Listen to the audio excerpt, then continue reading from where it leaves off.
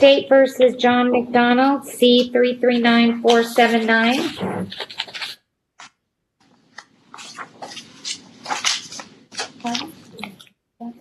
afternoon, Your Honor. Nadia Hojjat, number 12401, on behalf of Mr. McDonald, who is present via BlueJeans.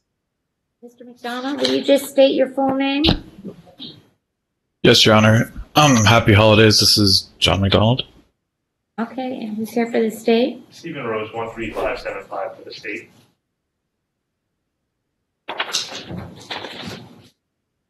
Your Honor, this is on for calendar call. I did file a motion to continue. It looks like it may have gotten calendared in January.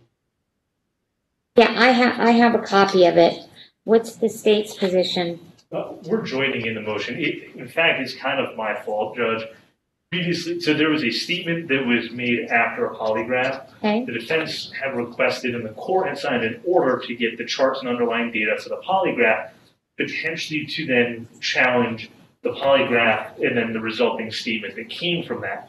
The court gave me the, the order, I got the records, and then I screwed up and put them in the wrong file. I had a John McDonald and a Johnny Matthews. oh, And so defense counsel was reaching out to me several times, and I kept looking in my John McDonald file, not having them, so I assumed I just hadn't gotten them from Metro yet.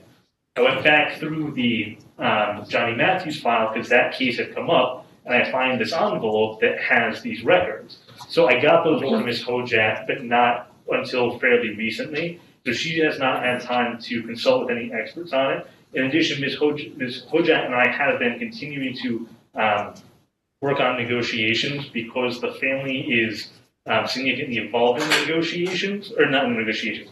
They're significantly involved in the case and have made their thoughts very well known to me. Ms. Hojjat and I were hoping to potentially do a settlement conference as well. Um, we just can't get that done before the, the calendar call date. So if the court's willing to, I would ask the court to grant the motion. sure.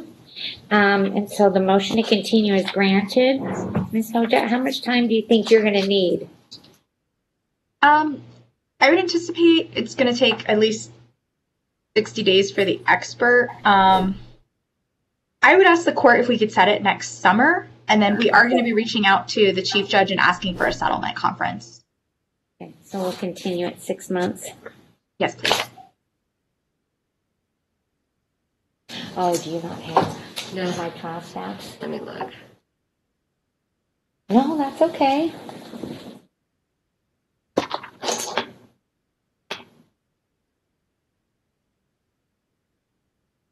June thirteenth, June twentieth. Why don't we just give him June twentieth? I'll be June twentieth at ten thirty. And calendar call will be June fourteenth. Doing love, or uh, out of custody times.